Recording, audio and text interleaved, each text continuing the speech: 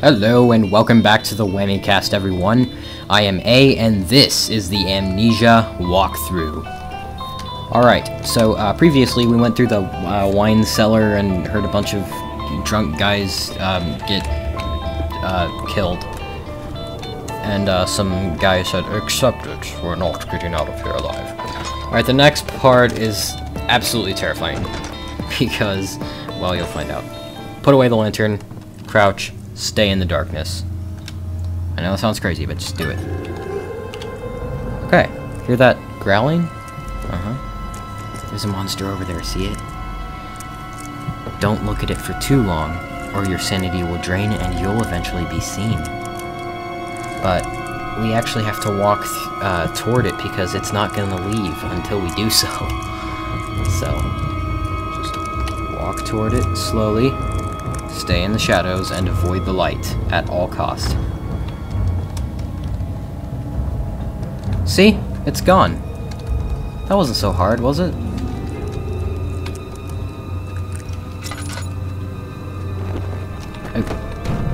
And there's some random stuff that falls down there.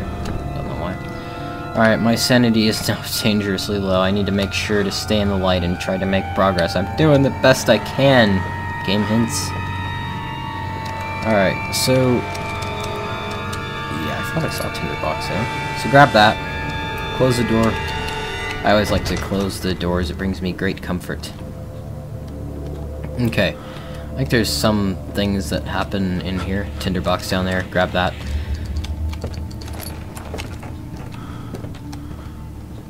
There's another place in the game that looks like this wine cellar, which is why I'm kind of I'm kind of getting the the uh, two parts kind of confused a little bit. But over there, there's another chemical. I want to grab that. And I've solved puzzle, so my sanity is now crystal clear. Thank God, I needed that. Alright, so it looks like we have all four chemicals, so now we go to the Thinking Lab. You know what to do. Sit down in a thinking chair and think. Think. Think. Our minds, take a step at a time, we can do anything that we wanna do. So now go back to the entrance hall.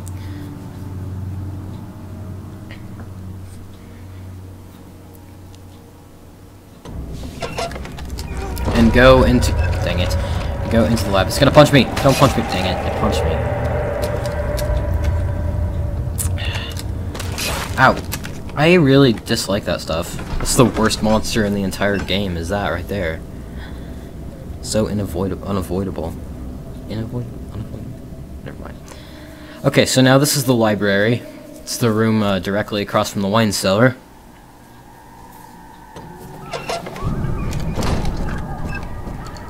And I kind of light this place up. Uh, tinder box is looking good. Oil is looking pretty good as well.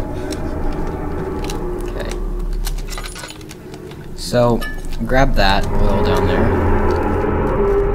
Listen to the monstrous shadow that's trying to kill us.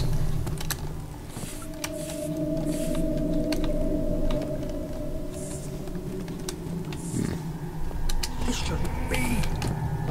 Okay. So this is the room we want. Flashback. There should be more cuprite. Let me see, let me see. And one part aqua fortis. There's a tinder box in here. Grab it.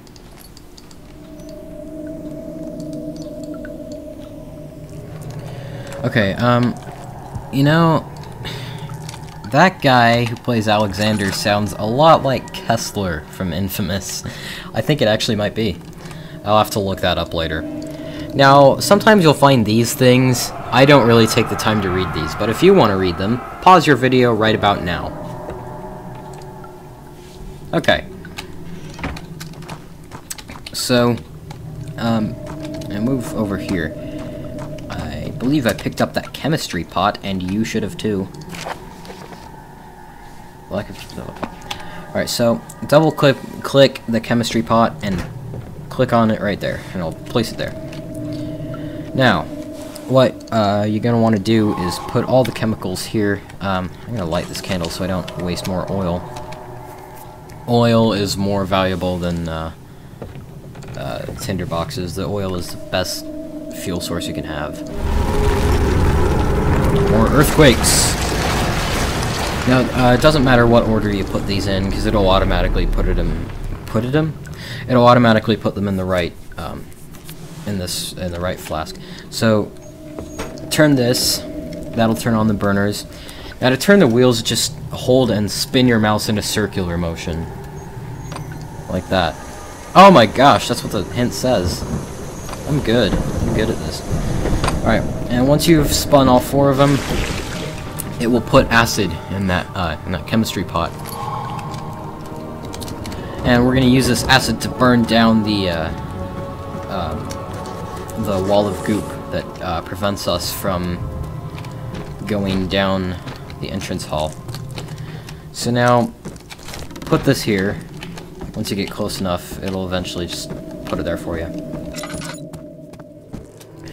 You know, although this is really uh, supposed to be a survival horror game, it's also got a lot of, uh, it's also kind of like a puzzler and um, find the hidden objects type game. It's pretty much all it is, with some horror stuff added, like this.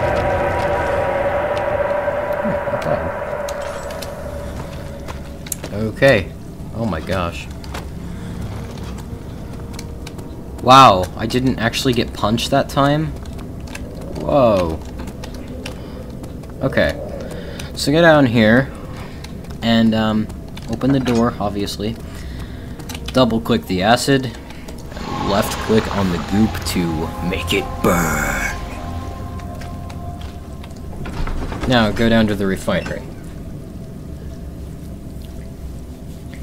This is the place that kind of looks like the um, the uh, wine cellar, actually.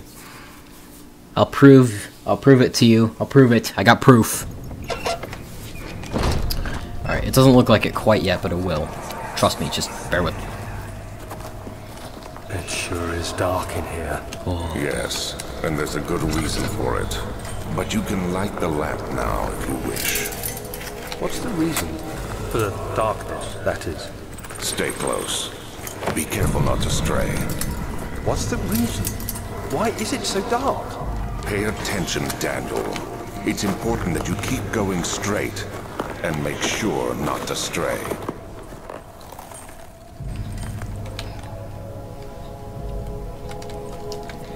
Okay. Um.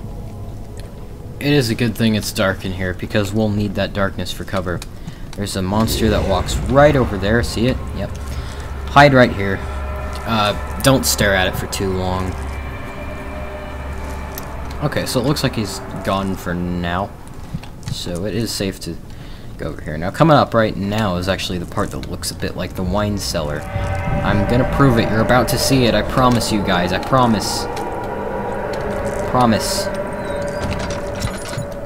There! See? Doesn't this look like the wine cellar? Told you. I told you. Alright. You're gonna want to go this way. Um, pick that up. What? Can you at least knock? 22nd of June, 1839.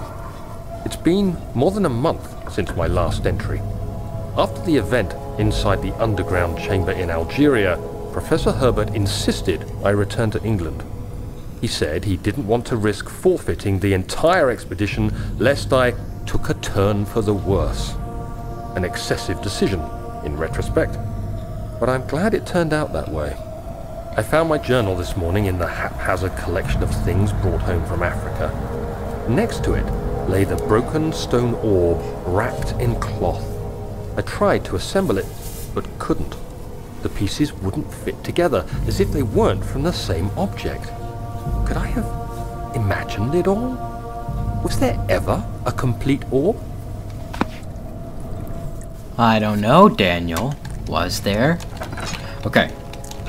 Open that. Um, there's some stuff over here. Just so you know. I mean, like, bad stuff over here that's gonna happen. What is this place? Castle Brennenburg, dude. Pretty sure there were...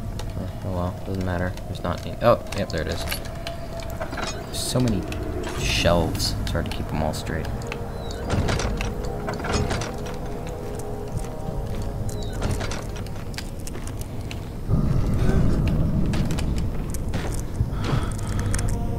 Twenty-fifth of June, 1839. I feel the need to continue this journal, even though it was intended for my journey to Africa. This must be something very important. I just know it. I've taken it upon myself to piece the orb back together, but it's been more difficult than one might think. The pieces are behaving strangely. They seem to change colour, shape, and texture, but ever so slightly. Yesterday, I took careful measurements and notated any significant markings. Today, I confirmed my suspicions. They were changing. I was terrified and rushed off to see the finest geologist in London, Sir William Smith. I approached the subject with care and we discussed how rocks change form. He told me about the nature of glass, how it eventually collapses on itself, like ice slowly melting over the course of centuries. Smith eased my mind a bit, but I can't escape the feeling that these shards have otherworldly properties. Why would you be terrified? Oh gosh. Anyway, why would you be terrified? I think it'd be pretty awesome to have something that changes autom by on its own. If it's like stone or something, it's not supposed to do that. That'd be cool. I love that.